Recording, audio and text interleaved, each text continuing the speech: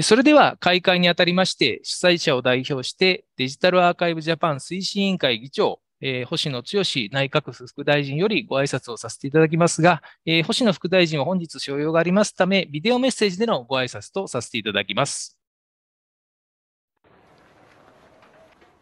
皆様、こんにちは。内閣府副大臣の星野剛です。ご参加の皆様には、日頃よりデジタルアーカイブ活動へのご理解、ご協力を賜り、誠にありがとうございます。デジタルアーカイブフェス2023の開催にあたり、主催者を代表してご挨拶を申し上げます。デジタルアーカイブは、社会が持つ知や文化的、歴史的資源等の記録を未来へ伝えるとともに、イノベーションの源泉とも言うべきデータやコンテンツの共有基盤となるものです。例えば教育や研究観光地域活性化防災などさまざまな分野での利活用が期待されています。デジタルアーカイブが日常的に活用され多様な創作活動を支えるデジタルアーカイブ社会の実現は知的資産の交流融合を通じた新たな価値創造の活性化を目指す我が国の時代戦略においても重要課題の一つに位置づけられています。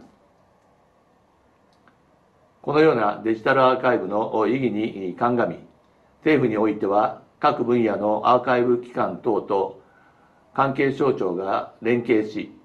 アーカイブの構築、共有と利活用推進に向けた取り組みを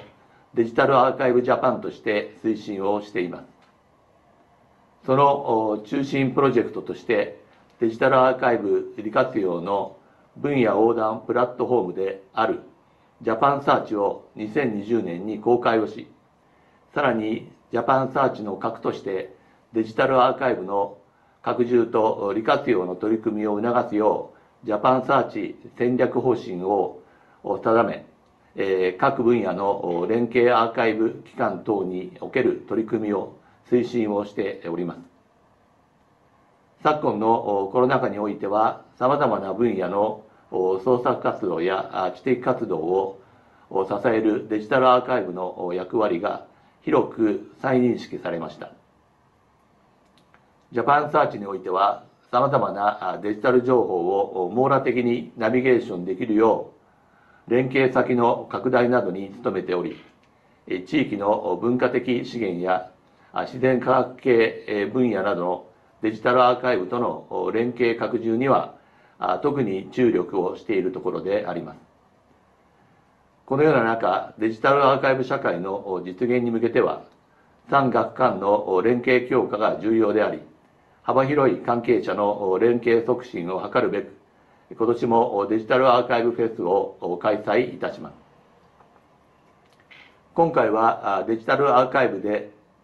地域の価値を再発見するをテーマに地域アーカイブが持つ可能性やデジタルアーカイブを活用した地域振興に資する取り組みについて